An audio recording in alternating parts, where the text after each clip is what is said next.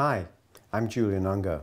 I am a neurologist and I practice medicine that is confined to disorders of the brain, spinal cord, peripheral nerve, and muscle. But that means, in layman's terms, uh, diseases that produce pain, numbness, paralysis, um, headaches, and um, disorders of balance. Mary, how are we doing? Uh, not good. What's going on? My left, the middle of my, like, right here, down to my Left. left hip. Okay. Here at the office, I'm employed as the medical assistant for Dr. Ungar, and I am also the office manager for the neurology pain management aspect side of Dr. Ungar. Okay, we'll have him in here shortly to talk to you. Um, I am the office assistant. Um, I normally just make the scheduling, also do like a lot of the filing and pretty much stuff like that. Mickey, it's waiting on the phone. Oh, great. Okay, and this is also yours too. Okay. There you go.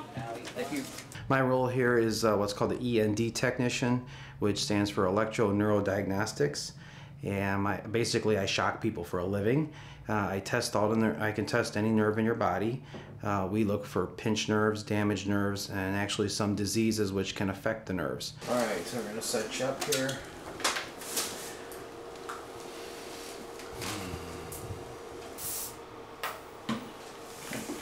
Push your thumb up and relax. Push it up. Okay. And relax. All right, chin up for me, please. Uh, my name is Patricia McNamara, and I do EEGs or electroencephalograms. It's kind of really a relaxing atmosphere. We joke around with each other. We're all the time gonna joke. Everybody's just really nice and caring. I worked at other places uh, where we tended to run the people through like a mill. Um, hurry up, get the test done, crunch the numbers, get it, you know, as many people done in as day as you can. But I think that extra time that we take with the patients uh, really pays off. Uh, gives Dr. Ungar an edge over other doctors as far as uh, making diagnosis. And then you have been to the physical therapist at Jasper County Hospital. Right. Has that helped? Yeah. Keep, you know, keeps the muscle toned. And it stops it from atrophying, right? Yeah.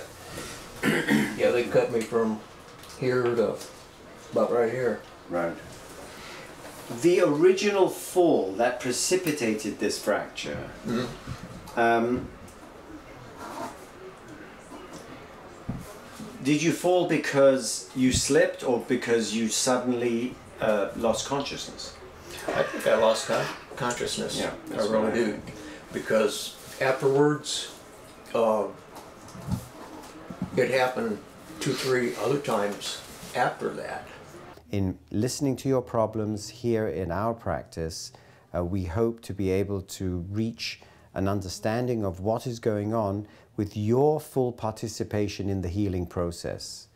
It's no longer sufficient for a patient to present themselves to a doctor and say, Here, give me the cure. What was it? Oh man, I thought this was it over here. man, what is it doing up that high? Um, let me see. I did a sleep apnea test last night. Don't go to technology to explain your addiction, okay? Don't blame technology or try to fool me.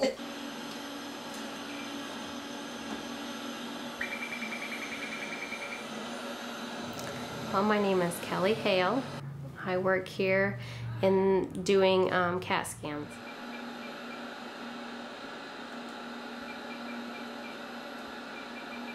Being at a hospital, you're kind of a number almost. At least here, we can take the time to know why you're here, why you're having the exam, and what we can do to help. We're going to be taking tubes of spinal fluid to send them to the laboratory for a cell count, protein and glucose, gram stain and culture, oligoclonal bands, and serum protein electrophoresis. Looking for about 10 different possible diseases that are causing this poor young lady's problems. Now, she's diabetic? Yes. Is she a naughty diabetic or a good diabetic? And now it's good. Now is good. I haven't tried it for She was a naughty. She was very naughty. Mm-hmm. Hi, I'm Wayne Lake. I'm a nurse anesthetist. I provide sedation for Dr. Ungar's patients. I arrange it so when he's doing his thing, you don't feel or remember what's going on, so it's more comfortable for you and a little less scary.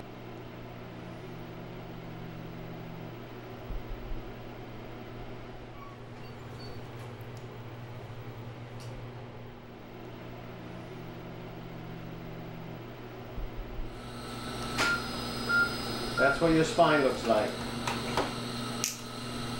You've got a lot of arthritis here at L5.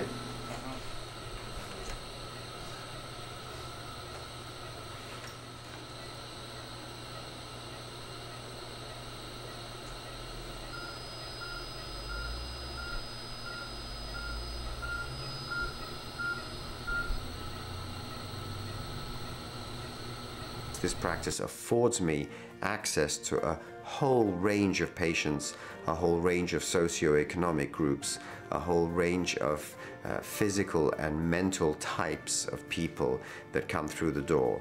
We see young kids with ADD, ADHD, seizure disorders, all the way up to octogenarians, and that really gives me um, a lot of encouragement, both in my own um, challenges and spiritual struggles, and in terms of my feeling uh, that we are, we are contributing.